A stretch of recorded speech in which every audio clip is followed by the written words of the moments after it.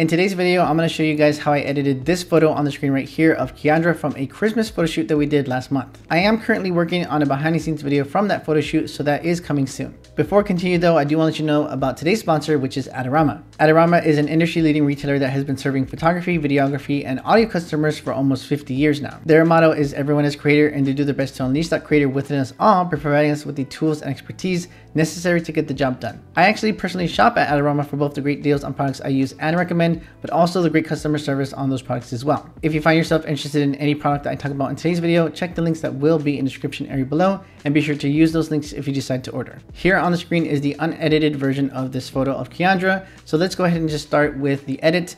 The first thing I want to do is increase the exposure to maybe 0.25. Whenever I adjust the exposure, I usually do it in 0.25s. So that's gonna be 0.25, 0.5, 75, and then a full stop at one. But I feel like 0.25 looks pretty good right now. The second thing I wanna do is increase the color temperature because I feel like it's a little too cool. So I am gonna adjust it quite a bit to maybe 48, 50. It does look pretty good in everything else that isn't her. I will correct the color temperature on her after a couple of other adjustments first. I feel like at 48, 50 it looks pretty good. Maybe I'll change the color temperature to be a little bit greener or a little bit more magenta actually because I feel like it's a little too green. What I'm primarily focusing on right now is everything but her. So that's gonna be the background. Now I'm gonna scroll down and do a little bit of sharpening at 60 where it says amount. And then at the very bottom, I'm gonna go to the calibration blue primary saturation section and change it to 80. Two colors usually get saturated a little too much, which is gonna be the oranges and the blues. So I'm gonna scroll up to the HSL section and reduce the blue to maybe negative 20. And then the oranges, I will go to maybe negative 15. I think this is the only adjustments that I need to do that are global adjustments. These ones here on the side. I'm gonna get the masking section. I'm gonna go to the masking section, which is gonna be Shift W on a PC. I'm gonna click on that. And then now I'm gonna select just the subject, which is Kiandra, of course. I'm gonna click on that and it is gonna select just her. Everything in red is everything that's selected right now. And now the biggest adjustment that I wanna make to her is of course the color temperature. So I will go to maybe negative 25, start there. And I feel like it's a little too cool, too cold there. So I'm gonna go to negative 20. And I feel like it's pretty good there. Maybe a little bit lower at maybe negative 18. And then I do feel like she is a little tad bit green. So I want to increase the temperature or the tint actually to maybe 0.4 or 4 and I feel like at this level she actually looks pretty good. And I guess the only thing I'll do now is maybe you know what? I was gonna increase the exposure but I'm actually gonna do that with a separate adjustment brush because of the more gradual effect that I can create when it's not just her selected. So now what I'm gonna do is go to the plus, click on that, click on brush, and then I'm gonna increase the size of my brush by the mouse, the scroll on it. I'm gonna just kind of just paint slightly over her, maybe a little bit around her. See if I can raise the exposure slightly. And I'm gonna get it at maybe 0.2. And I feel like now it created a little bit of a gradual kind of increase in exposure over her face. So just a tad bit, a little bit more exposure on her face, maybe 0.25. And then I'll leave it there because I always want the focus to be on the subject's face. I will get one more adjustment brush and just paint on the leg area right here because I feel like the legs are a little too dark. So maybe I'll get a little bit of the jeans here and then stick to the area right there. And then maybe get a little bit of the next to the legs. And I'm gonna just now increase the exposure to maybe point, I'm actually to keep it at one. And then let's see if I can get that exposure. Yeah, I think it's good how it looks like right here. So let me just show you guys the before and after. So that's gonna be the before and that's gonna be the after. And I feel like now it looks pretty good exposure wise. I do want to increase the exposure of just the background right now. So what I'm gonna do is go to the plus and then go to select background. So that's gonna be everything but her. So you guys can see everything in red. That is the area that I selected. And I just wanna increase the shadows just a little bit to maybe 15. And I feel like it's good now. Because the background was so dark and her hair is dark, and I should have used kind of a separation light, another light to just light up the hair. To separate it from the background, I needed to kind of figure out a way to make the background stand out away from the hair basically so that they don't blend in a little bit too much. And the way that I just did that right now was increasing the shadows of just the background. I'm gonna get one more brush and then kind of just paint around the hair and then raise the exposure and maybe the shadows of just the hair. So I am gonna fast forward through that right now. Okay, so here is gonna be the before of the hair and here's the after. So I did increase the hair exposure to 0.8 and the shadows to 15. The last thing I'll probably do here in Lightroom is just go to the eyes and then click the plus and go to another brush and then just go over the dark eyes and then make the eyes just a little bit brighter.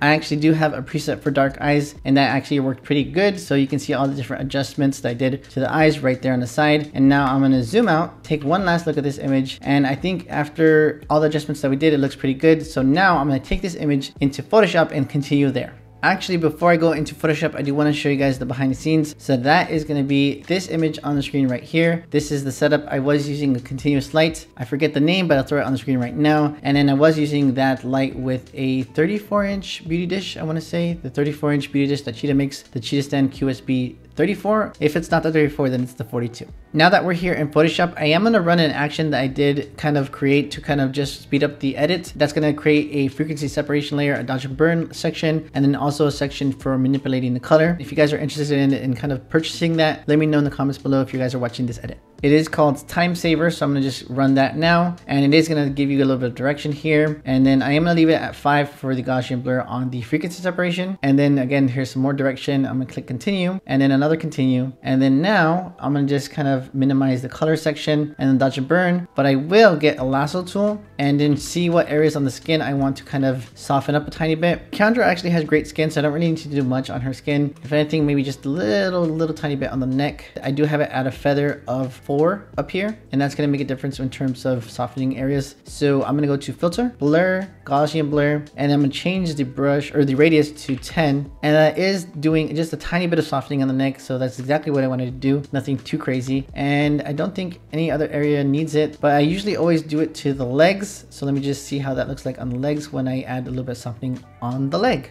Okay, so it is a bit of a hit and miss whenever I use Gaussian blur on the legs for some reason. So I don't really like how the results look like. So I'm gonna deselect that and then get a wet brush. You can see all the different settings that I have on here. Not the wet brush. I always say wet brush when I mean to say the mixer brush. So that's gonna be right there where the brushes are. And now you can use all the different settings I have on top and then just paint up and down just slightly on the leg. And that usually gives a nice softening effect on the legs that isn't too weird. So I'm gonna just do that. And then I already did it. So now I can see the before and after on the leg, a little bit of subtle softness. Now what I'm gonna do is just see if any other area needs to be softened and I don't think that's the case. So again, that was frequency separation and dodge and burn is just gonna be literally brightening and darkening areas. I feel like underneath the eyes and the eye bags is something I do wanna tackle. Aside from that, I feel like I'll just add a little bit of extra contrast that I usually do by brightening up the limbs in the center and then darkening the side of the limbs. I am gonna fast forward through this, but it's pretty much what I do. I always brighten the center of the limb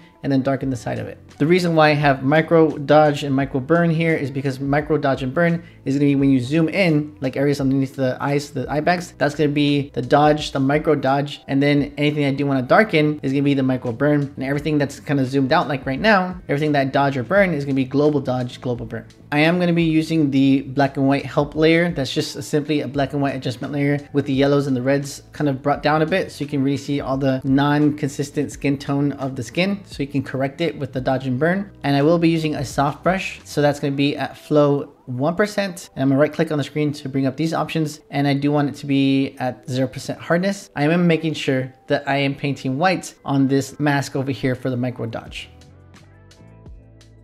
Here's the before and then here is the after. So now I'm gonna zoom out and I do like the results of that. Maybe if anything, I'll just bring it out tiny bit down to like maybe 70. So now here's the before and after. And now I'm gonna zoom all the way out. And now I'll do a little bit of uh, the global dodge and the global burn. So like I said before, I usually get the brush tool and I go towards the center of the limb. So that's gonna be her leg here. And I am making sure that I paint on not just her leg, but also the, the short whatever she's wearing. I'm gonna do that right there. And now here's the before and after. And it's a little too strong, so I'm just gonna go to a little bit lower at maybe 60. And then I'm gonna get the burn, the global burn, and then do the same thing, just a tad bit on the edge here. And then basically making a small, small gradient of darkness at the edge of the leg. So here's the before and after. The actual before and after. So here's the after, here's the before, and the after. Now what I'm gonna do is take one last look of the entire image to see if there's anything I wanna dodge or burn. Maybe I'll do that extra dodge like I mentioned, or the extra burn that I mentioned on the shirt area right here, because I feel like it's a little too bright.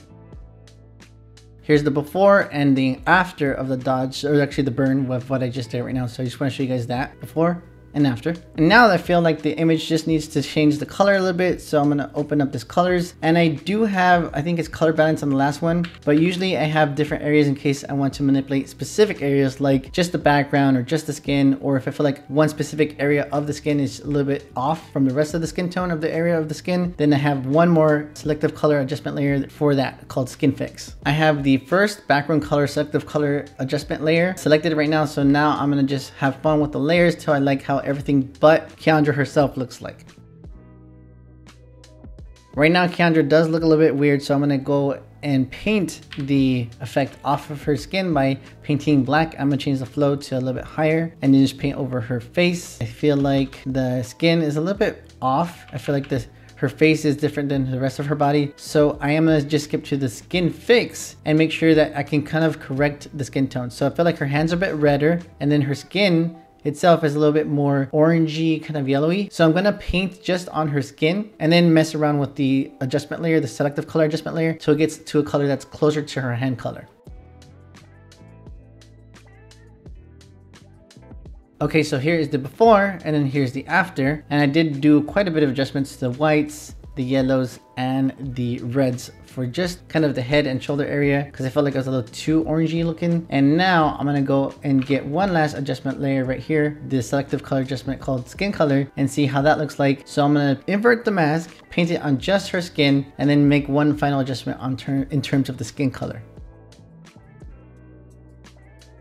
And finally, here is the before of after I adjusted the color and then the after of after I adjusted the color. I feel like everything looks pretty good now and that's pretty much it. If anything, I might do one more kind of two different things to add more contrast to the image. So that's going to be getting the levels adjustment layer and then bringing this left side over here up to maybe I don't know, usually five, four to eight. And then I usually get another curves adjustment layer and bring it up a tiny bit. I'm gonna reduce the opacity just a tiny bit, maybe to 0.5 or maybe to 15%. And then now I'm gonna get both of these together by holding down shift while holding, while selecting that top one and then holding down shift, I click on the bottom one and then hit control or command G and then show you guys the before and after of that extra layer of uh, contrast. And now I'm pretty much done with the edits. Hope you guys enjoyed it. I wanna say one last thanks to Adorama for sponsoring this video. If you guys have any other questions about this edit, let me know in the comments below, but that's pretty much it for this video. Take care guys, and I'll see you in the very next video.